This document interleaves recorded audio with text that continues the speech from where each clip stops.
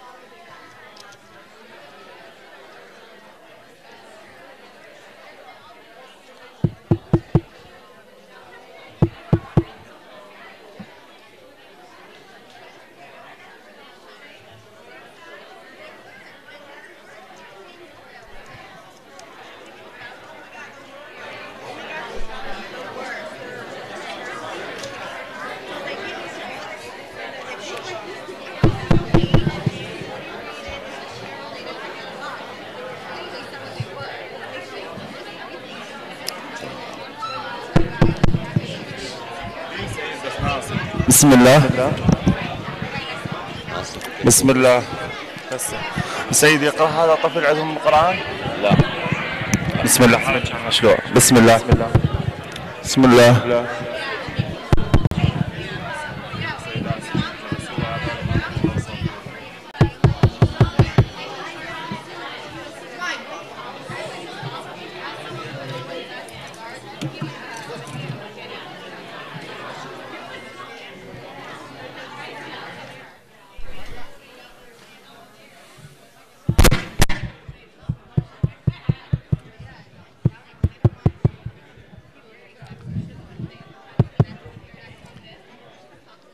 الرحمن الرحيم.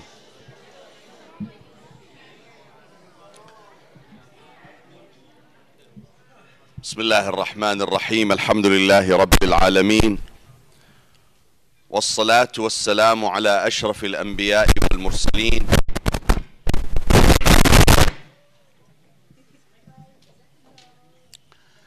سيدنا ونبينا محمد وعلى آله الطيبين الطاهرين.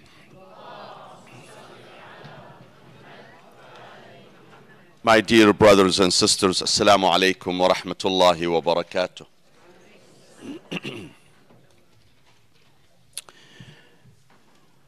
I would like to welcome you all to another beautiful Sunday here at the Islamic Institute of America.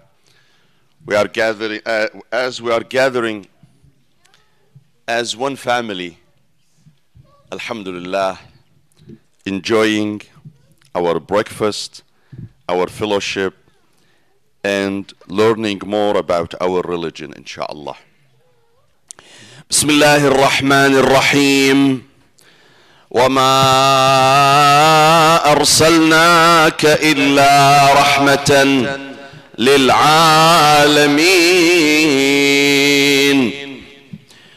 I would like to congratulate you all, my dear brothers and sisters, on the beautiful and auspicious occasion of the birth of our holy prophet Muhammad sallallahu alihi wasallam, which corresponded with Rabi' al-Awwal 17th, which was on Friday. We celebrated the birth of our holy prophet. now, Allah subhanahu wa ta'ala speaks often about our holy prophet and about his personal conduct. And in this particular ayah, Allah subhanahu wa ta'ala sums up the Prophet in two words only. Our Holy Prophet had so many great qualities. He was generous. He was forgiving. He was caring. He was loving. He was humble. He was unselfish. But out of all those characteristics that he enjoyed, all those qualities that he possessed, Allah subhanahu wa ta'ala picks one, one description, one characteristic to describe our holy prophet with. And that is, وَمَا أَرْسَلْنَاكَ إِلَّا رَحْمَةً لِلْعَالَمِينَ We have sent you but a rahmah, mercy for the whole mankind. So he's a rahmah, he's a mercy. Not only for Muslims, but for all people. Not only for people, for all creations. Rahmatan lil alameen, for everything in this universe, even for animals. He was a rahmah for everybody. Now, I know in Christianity, they emphasize the value of love. You see them talking so much about love. And it is true. Jesus was a prophet, a messenger of love. He always preached love. And he promoted love. And he asked his followers to love one another. And you always find that concept, the concept of love, is highly promoted in Christianity. But in Islam, we see Islam focusing on mercy more than it does on love. Why is that? And what is the difference between love and mercy? We know that one of God's attributes is he is Wadud, Wadud is loving. But also among his attributes, he is Rahim. He's merciful. And we always invoke his rahmah, his mercy, every day, numerous times. Every time we stand up for salah, we say Bismillah ar-Rahman ar-Rahim. In the name of Allah, the most compassionate, the most merciful. What's the difference between love and mercy, between being loving and merciful. They are very close actually. And sometimes they are even intertwined. But the, the, the exact difference between love and mercy is in that. That love is an emotion, but mercy is an action. It is your love that leads you to be merciful. You're a mother, so you love your child. Your love for your child prompts you to be merciful with your child, to be compassionate. But remember, not every love leads into mercy. I have to have enough love, overflowing love to lead me into mercy. Let me give you a very simple example. If a child now, God forbid, falls down of his chair, and his mother is sitting to his right, his father is sitting to his left, which parent is most probably, more probable, there is more probability that he would jump immediately to pick that child? The mom. Does that mean does that mean the father doesn't love the child? Of course he does. But a mother is more merciful, more compassionate, more loving. She, she expresses she expresses her love to her child spontaneously through her action. You don't need to tell a mother to be merciful to her child. Her love would push her immediately subconsciously to jump to, to pick up the baby, the child. But the father, though he loves his child, but he may not jump as much as the mother may do that.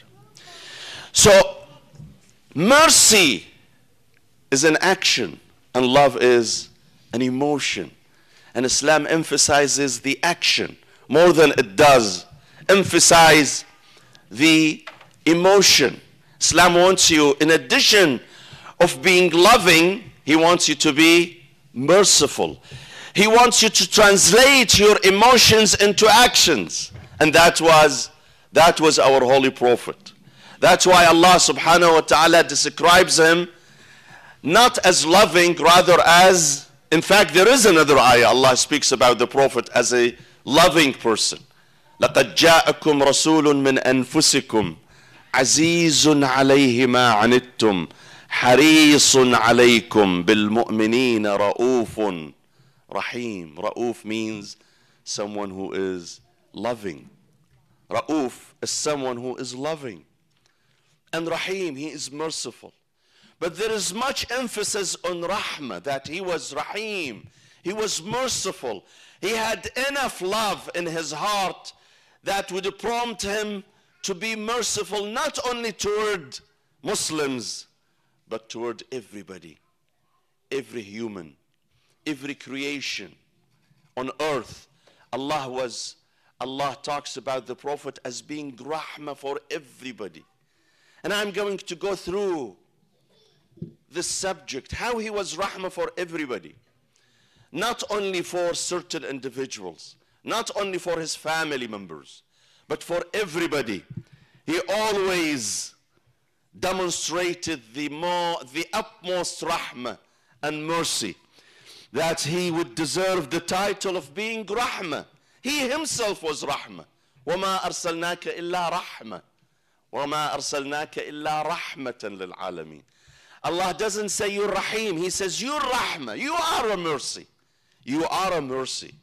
He exhibited so much Rahmah that he gained this title, the title of Rahmah. He became Rahmah himself. So, when the Prophet ﷺ was in Mecca preaching Islam, now, mind you that Mecca was a very, very hostile environment, unfortunately. Very hostile.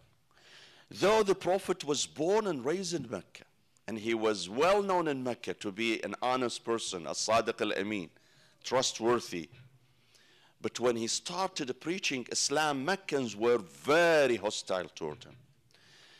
And no matter how much he speaks, he preaches, Meccans were very stubborn. The vast majority of Meccans would not budge, they would not accept his message. After, after 13 years, 13 years of preaching Islam, only a handful of people embraced this faith. Only. That's why he had to leave Mecca and migrate to Medina. While preaching in Mecca, Meccans would encounter him with abuse, with ridicule, with hate. So much so that they, that they sent their children often to throw stones on him and injure him. He comes home bleeding. His feet was bleeding from the stone being from the stones being thrown at him. And when his wife Khadija looks at him, he was so, she was so furious to see this honorable man, this loving husband, this great noble human being is being harassed and abused while he's trying to educate his people. While he's trying to wake them up, they are basically reciprocating with hate and viciousness. She would tell Rasulullah, the Prophet, Ya Rasulullah, ud'u alayhim. Curse them. If you curse them, God will definitely bring his wrath on them. And instead of cursing them, the Prophet ﷺ raises his hand and he says, Allahumma hdi qawmi fa'innahum la ya'lamun. May God guide my people because they don't know better. He would not curse them. Rather, he would pray for them. They are abusing him and he is praying for them. Have you seen someone? Have you seen someone being abused, being harassed, and he would pray for his harasser, for his abuser? That is the Prophet Muhammad sallallahu alayhi wa wasallam.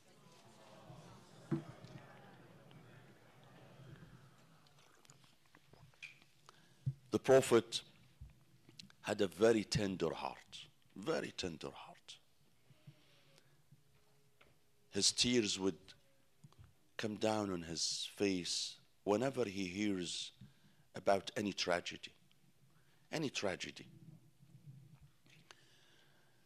He would react with emotion. In a society where expressing your emotion was aib, was a big stigma, was a sign of weakness.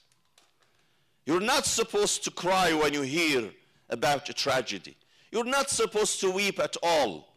You will be accused of being so weak and vulnerable. But in fact, reacting with emotion proves that you are a true human being. You have a soft heart. One habit, one tradition that existed among Arabs before Islam was that they would bury the female baby alive. They would wait for a mother to give birth. If it's a boy, they cheer him. They, they are so jubilant about it. But if it's a girl, baby girl, the father would dig a hole next to his wife's bed. Whenever she delivers the baby, the baby girl, he would, the father would take the baby, his own baby, and we would bury her alive. Not only that, they boast about that. They boast about, about burying their children alive. They consider this to be a sign of strong manhood. If you're a great man, if you're a strong man, you would bury your daughter. Why? Because she's nothing but a source of stigma for you. Bury her and get rid of her. And Allah subhanahu wa ta'ala in the Quran speaks eloquently about this phenomena. وإذا بشر أحدهم بالأنثى ظل وجهه مسودا وهو كظيم. يتوارى من الغيظ من يتوارى من القوم من سوء ما بشر به. أيمسكه على هون أم يدسه في التراب؟ ألا ساء ما يحكمون. When one of them is told that he got a baby girl, his face turns dark. And he is trying to disappear.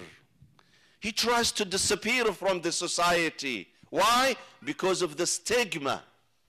Because of the stigma, he cannot even see people anymore. يتوارى من القوم من سوء ما بشر به. And he doesn't know what to do. Should, I, should he keep this baby or he should bury her alive? Then Allah subhanahu wa ta'ala says, ألا ساء ما يحكمون. What a terrible judgment. What a terrible mindset to bury a baby alive. The Prophet would make sure that he would show his love toward children. In fact, in fact, the Prophet was so proud of being a father to four girls. He stands up one day and he tells people, if God gives you three girls, you take care of them, you feed them, you clothe them, you educate them, and you take care of them. كن حجابا بينه وبين نار جهنم. They shall become a barrier between him and Jahannam. And a man stands up and he says, What about two? What if I have two? It will have the same effect. The Prophet says, Yes, natani أيضا. If you have two girls and you take care of them, you feed them, you clothe them, you educate them, you show them love and mercy, this is a ticket straight to heaven. This is a ticket for you to go straight to heaven. And he always shows Muslims not to differentiate between boys and girls. In fact, he tells Muslims, Muslims, listen to me. Al-banun ni'mah wal-banat hasana. Boys are a bounty, a bounty, a ni'mah. And girls are a hasana. Allah will hold you accountable for the ni'mah, for the bounty. But for the hasana, He will reward you for.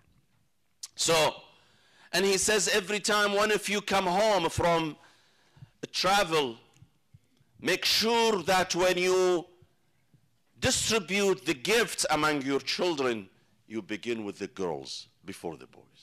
Because their heart is much tender. And therefore, you need to reach out to them before the boys. Delay giving your boys the gifts until you finish with the girls.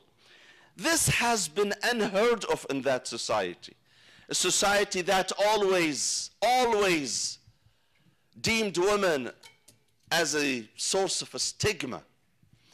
And a society that did not even consider women to be full human beings.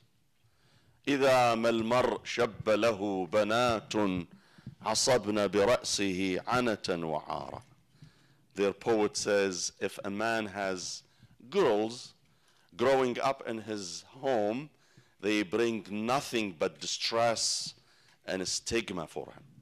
This is the Arab poet before Islam. And the Prophet came to change all of that. You know, to be proud of your children you need to be proud of your daughter.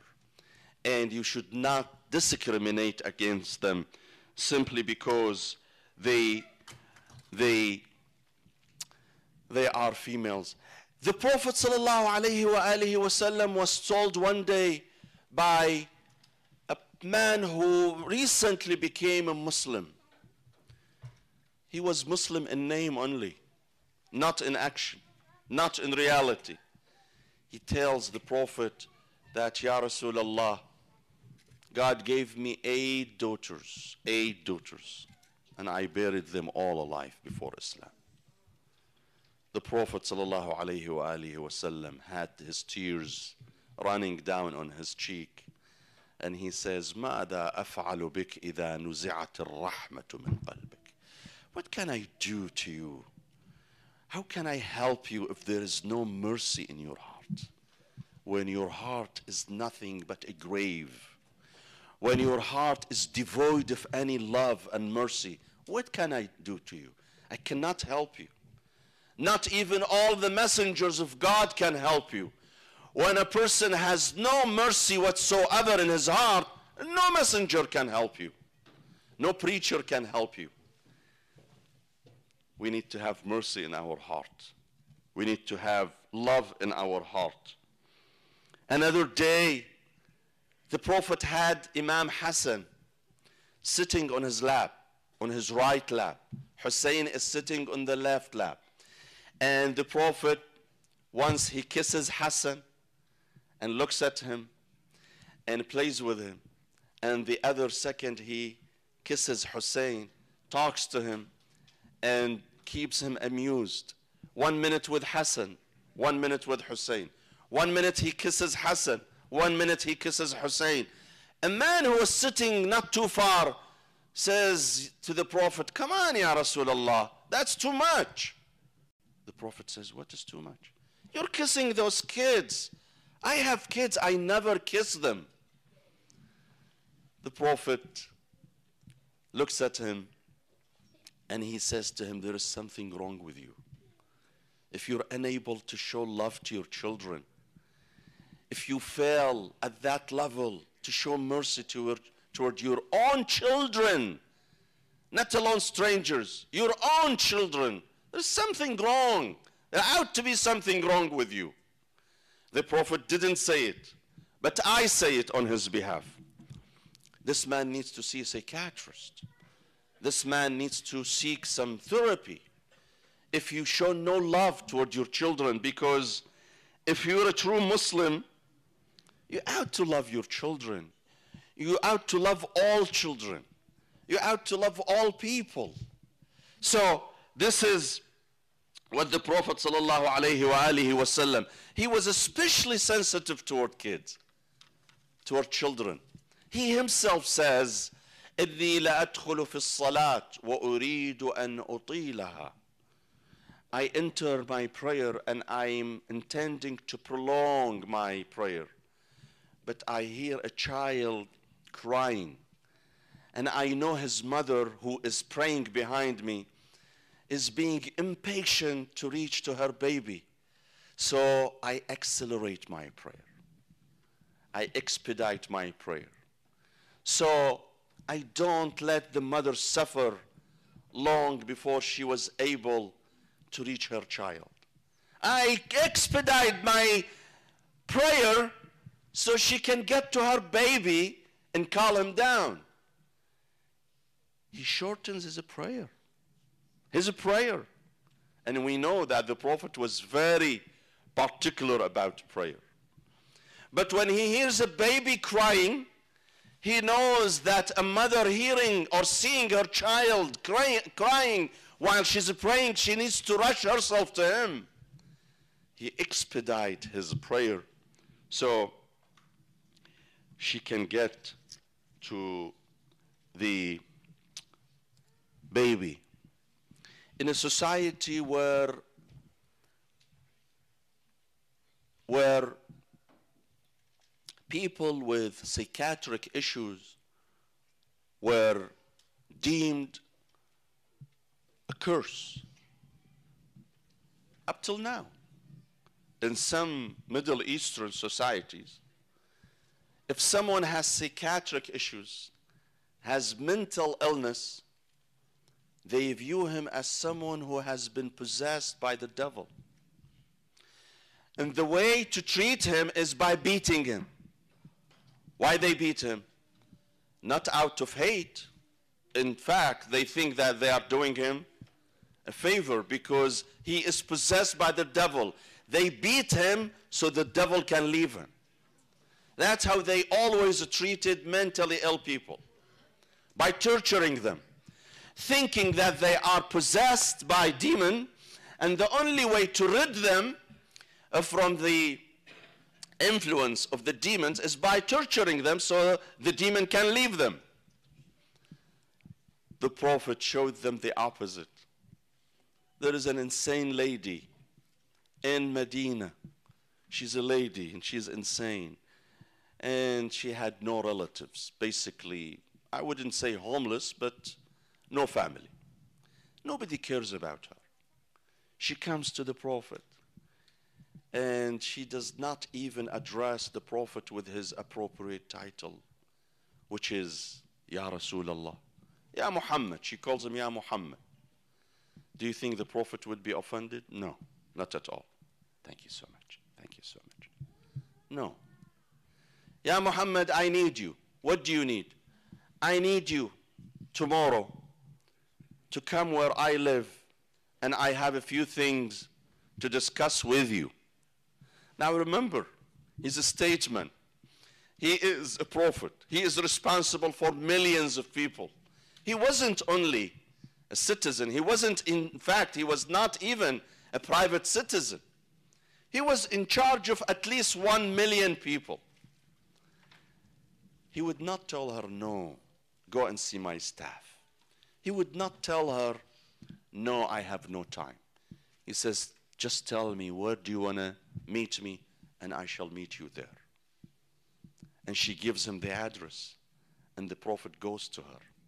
He would sit with her on the floor as she was talking to him, explaining what issues she is having or suffering from, and the Prophet is listening to her, helping her out. A man is so merciful that even mentally troubled people would find refuge in talking to him and seeking his help because they know he is the most merciful.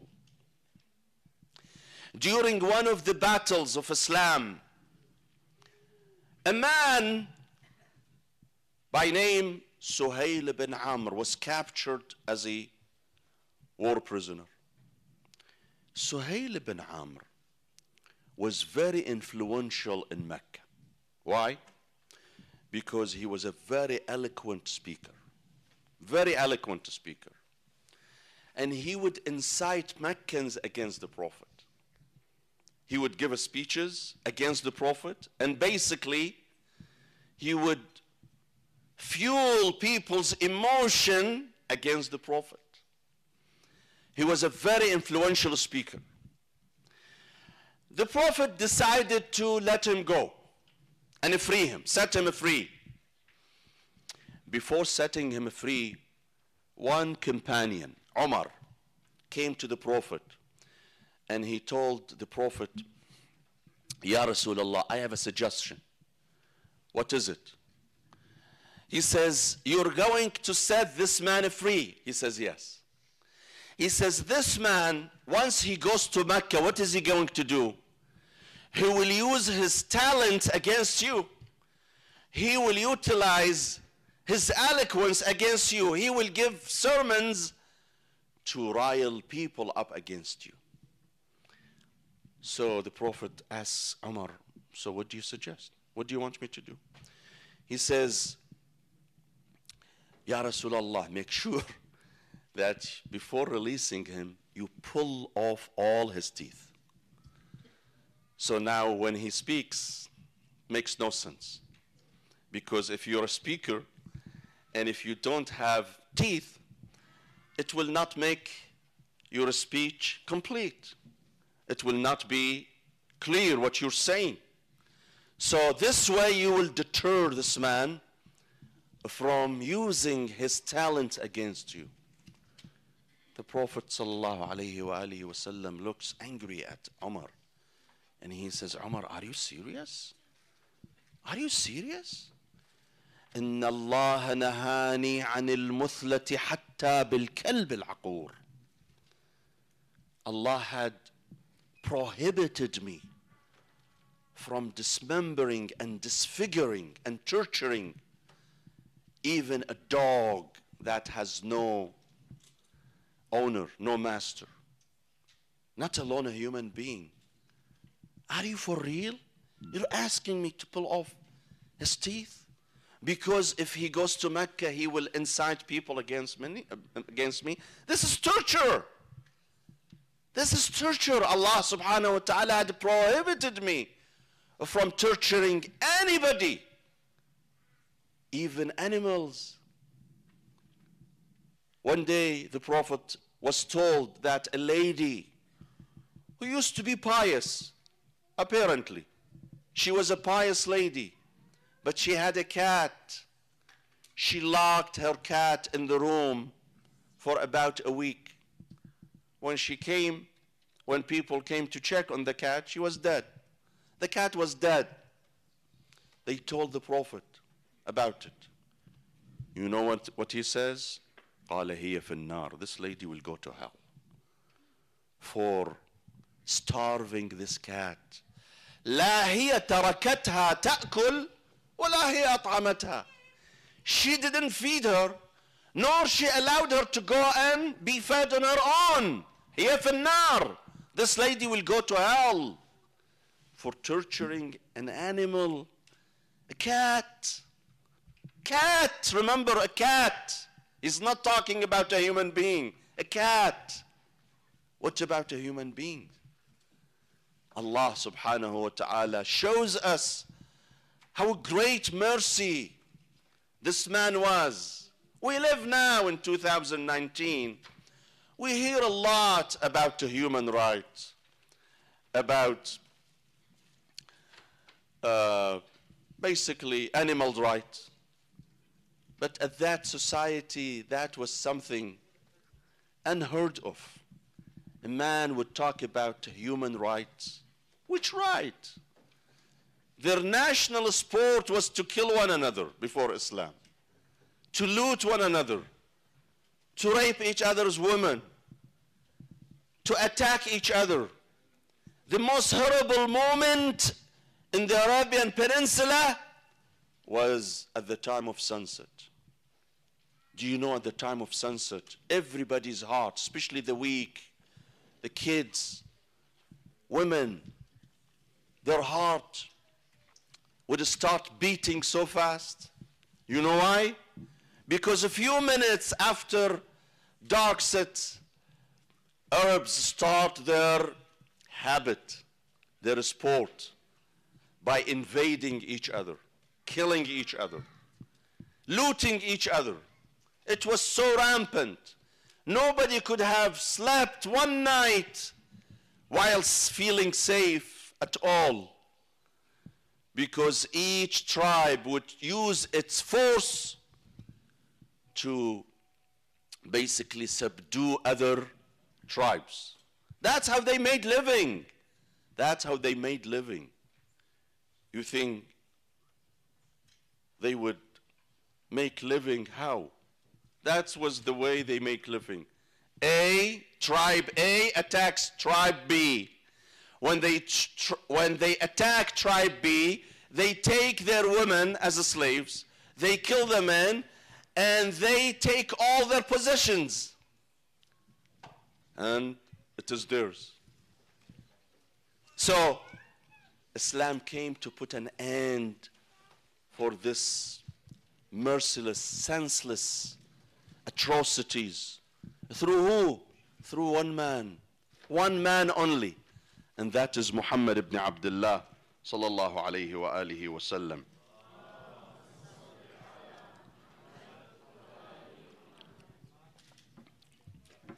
In a society where kids were disrespected and treated with brutality, the Prophet ﷺ shows Muslims how to gently deal with children. Muslims had a tradition, they bring their children while babies to the Prophet so he would bless them. The baby would sit in the lap of the Prophet for a minute or so and the Prophet would read something from the Quran or dua for that baby, and then the family takes the baby back.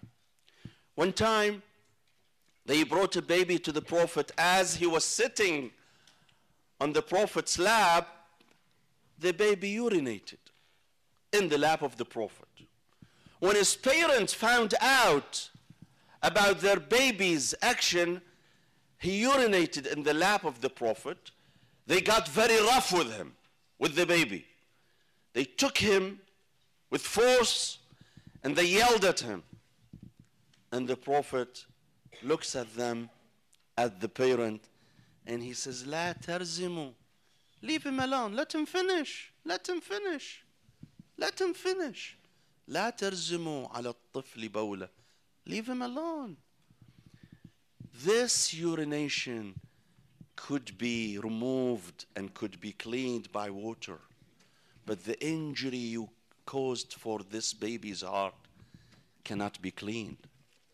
Cannot be cleaned. So leave him alone. Let him finish his job. Let him finish his business. Don't treat him rudely. This is the Prophet of Islam. A child is urinating in his lap and he takes it so easy. He smiles. And he asks his family, the baby's families, to leave him alone. Let him finish his business. Because that's not a big deal. He will go and wash his clothes. And that's it. It's over. But by being rude or rough or tough with your baby, you are dealing him a big blow. You are causing him a big scar that will stay for long time. Don't do that. So The Prophet wasallam is walking in the street when he passes by Fatima's house. By the way, Fatima was so special to the Prophet. Fatima was so special to the Prophet that every single day, every single day, he had to stop at her house and visit her. Every single day. The man is so busy with many responsibilities, but he makes sure in the 24 hours he has on his hand, he needs to five, even five minutes, 10 minutes, time to go to his daughter's house and check on her and visit on her. And look how respectful he was toward Fatima. When he comes to her house, he does not just open the door and enter. He recite an ayah in the Quran, ayah 33 in chapter 33. إنما يريد الله ليذهب عنكم الرجس أهل البيت ويطهركم تطهيرا Surely Allah decided to remove all impurity from you, the household of the Prophet. He recites this ayah and then he says, addressing Fatima, يا آل بيت رسول الله هل تأذنون لرسول الله بالدخول? O you the household of the Prophet, would you give permission to the Prophet of Allah to enter your house? Fatima replies from inside the house. Abata, al baytu baytuk, wal hurratu ibnatuk. It is your house, my dad. It is your house. You don't need a permission. And the lady of the house is your daughter. Please come in. Every single day, if not in the morning, then in the evening. Before he goes sleep, to sleep, he would make sure he would visit Fatima and check on her and her children. One day the Prophet was not going to her house, he was passing by her house when he hears Hussein crying. And the Prophet stops. He was going with his companions somewhere, with the entourage. They were going somewhere. And the Prophet turns to his companions and he says, Excuse me, give me a minute. He would go to Fatima's house. He enters the house and he says, Fatima, why Hussein is crying? Don't you know that his cry hurts me? ألا تعلمين أن بكاءه يؤذيني? I can't handle Hussein when he cries. I can't handle it. Don't let him cry. Please don't let him cry. To hear his grandson crying would be a moment that the Prophet could not take, could not even handle. That's how soft his heart was. That's how merciful he was. That he cannot even hear, handle the sound of a baby crying out of hunger or pain or whatever. He had to make sure to go to Fatima's house, asking her to calm the baby by either feeding him or taking care of him if he is in pain. Because that was the heart of this great man. I conclude with this story that the Prophet ﷺ was wearing an old worn out shirt. Not because he is poor, he decided to live simple. Live simple. He is the head of this state. He has all the treasuries in his hand, but he wants to tell people that I am your president, I am your prophet, but I want to live as simple as anybody, simple in my country. So, a man who was kind of wealthy comes to the prophet and he offers him a gift of a 12 dirham. 12 dirham. So, and he asked the Prophet, he says, Ya Rasulullah, I have a wish, and my wish is to see you buying a new set of shirt. The Prophet takes, accepts, By the way, the Prophet accepts hadiyah, gift. Anytime you give him a gift, he will take it. But if you give him sadaqah, he will not take it. Sadaqah has to go toward poor. He would not take it. If you give him sadaqah, he will not take it. He may take it from you and he will forward it to the poor. But if you give him a gift, he will accept it. And that's another, another beautiful gesture. Because people want to show their love to the Prophet. What do they do? Sometimes they bring him a gift. By rejecting their gifts, he's telling them, you know what, I'm above you. You cannot reach me. He accepts the gift to make them feel happy. Not because he needs the gift. Rather, they need to give the, the gift so they feel happy. So, he gave 12 dirham to the Prophet and he asked that the Prophet would buy a shirt. The Prophet gives 12 dirham to one of the companions and he instructs him to go to the market, buy a nice shirt and come back. This guy does. He goes to the market and he brings a beautiful fancy shirt. When the Prophet looks at the fancy shirt, he says, You know, I would rather another one. I would rather wear another one. And then he tell, asked the man, Do you think the man, the, the seller, is willing to take this back and give me a refund? The companion says, Let me try. He goes to the seller and he tells him that the Prophet is not so happy with this shirt. Please give me my money. He takes the money back. Now, this time the Prophet himself comes to the market to make sure that the shirt he buys is of his own, basically, uh, choosing. He buys a shirt for four dirham. Four dirham. Not 12. Four dirham. One eighth of the amount he was given. As he is walking back, a man with his shirt torn, saying, Ayyuha al-Muslimun, O Muslims, there is nobody who can buy me a new shirt and I ask God to give him a shirt in heaven. The Prophet takes his own shirt, the brand new shirt, and gives it to this man. And he goes back to the store, the same store, and he buys another one for himself. So he bought two shirts, one for himself, one for the other man. Now he has four dirham left. Again, as he's walking back home, he sees a lady sitting on the corner. And young lady and crying. The prophet approaches her. He have to approach her. And he says to her, What's wrong? Why are you crying? She says, Ya Rasulullah, my family gave me four dirham to buy some stuff from the market and I lost them.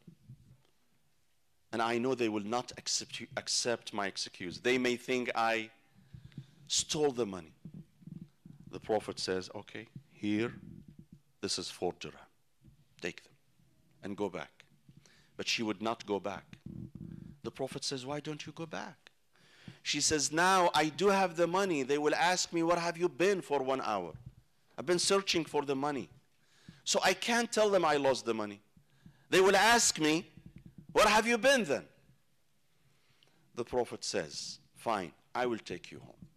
She goes with her. He walks with her. And he says to her, Show me where your house is. And I am going to intercede with your family on your behalf. So they come, they both arrive, the Prophet and the lady, young lady, and the Prophet stands at the door and he casts salam. Assalamu alaykum ya ahl dar And then someone comes out and he is so surprised that this is the Prophet. Ya Rasulullah, how come you're here? I came because she was late this lady was late in coming back home. I came to tell you, please leave her alone and don't bother her and forgive her. The man says, Of course, of course I will forgive her. Kermalek and for you, Ya Rasulullah, I would do anything. So, upon making sure that she went back home, safe and sound, the Prophet goes back and he looks at Imam Ali and he says, Ali, today I got a 12 dirham. What a blessed dirhams. What a blessed dirhams. That was, that was humble. He was being humble. Is it the dirham that is so blessed? Or the Prophet himself? He could have stuck to the same shirt, the first one, the fancy one, and enjoyed it. But it was his character, his down to earth character, that refused to use the whole money on buying one shirt for himself, rather splitting money, four dirham for himself, another four dirham for shirt for another person. And with the other four dirhams, he basically saved someone's life. Had he not interfered, maybe they would have abused her. This is the mercy of Allah subhanahu wa ta'ala. اللهم اغفر للمؤمنين والمؤمنات والمسلمين والمسلمات الأحياء منهم والأموات تابع اللهم بيننا وبينهم بالخيرات إنك قاضي الحاجات إنك مجيب الدعوات إنك على كل شيء قدير وإلى أرواح المؤمنين والمؤمنات نقرأ السورة المباركة الفاتحة